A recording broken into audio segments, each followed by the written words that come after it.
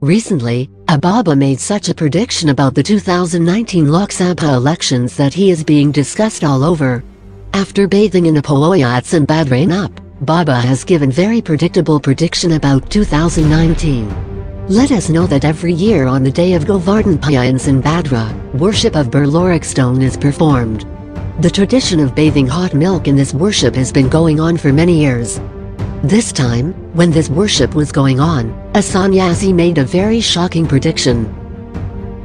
Local people here say that tradition of worshipping Bir Loric stones in Badra has been happening for 5,000 years.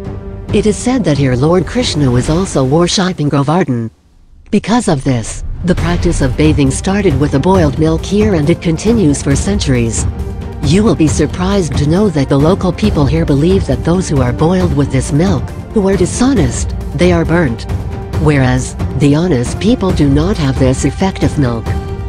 Ababa, while joining this tradition, surprised people at the time when after taking a bath with a boiled milk, he made an election prediction that no party would win in the Lok Sabha elections in 2019. No party will get a majority in the 2019 Lok Sabha elections and the coalition government will be formed in the country. Let us tell you that Baba has done this prediction this year during Govardhan Puja.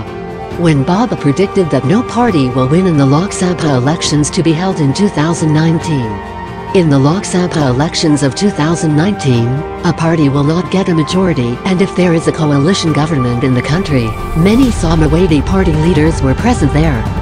It is being said that while bathing with milk while opening the Poya, Baba suddenly Speaking in support of the Samajwadi Party, speaking such a thing for 2019 let us tell you that stirring enthusiasm for the Gujarat Assembly elections in the country is fast and all parties are engaged in campaigning.